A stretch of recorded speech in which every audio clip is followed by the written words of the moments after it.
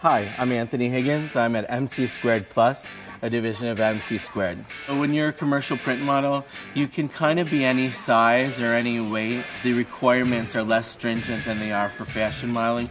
It's kind of like everyday good looking people. It could be a grandmother, it could be uh, you know, a little kid. It could be, uh, you know, someone that's maybe, you know, have a few extra pounds or somebody that's maybe like has some wrinkles. It's just, a, it's different. More lifestyle, not fashion. I've been in this business for 15 years. The first scouting event I ever attended was for one of David Mogull's events. Um, so I've known David for about 15 years, uh, and he's been instrumental in helping guide my career as far as going to him with advice.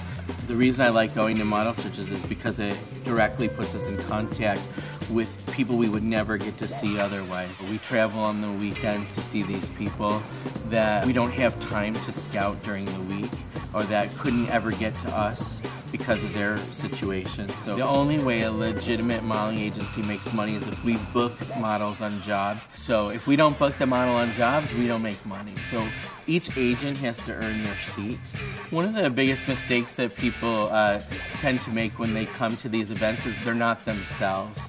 They try to be what they think we want them to be instead of just being themselves. To put your best foot forward, we'll be attracted to that confidence. We'll be attracted to the people. They'll stand out because they are excited to be there and they're excited to walk the runway. And these agents are there to help them. If the model's successful, the agents will be successful. And if the agents are successful, the agency will be successful. It's listening to your agent, doing what they need you to do to get to that level. Just like any other job.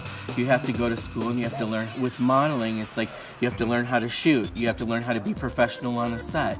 You have to learn what angles look good on you. You have to know what poses each client wants because everybody wants something different.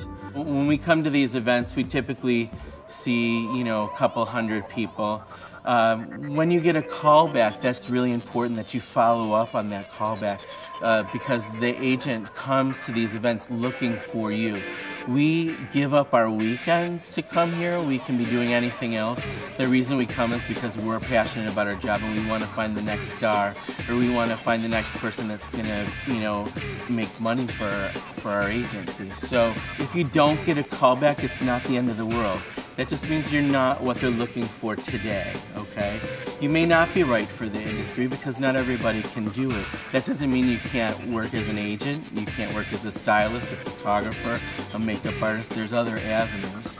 Uh, nobody's gonna just get a modeling job without being seen in person.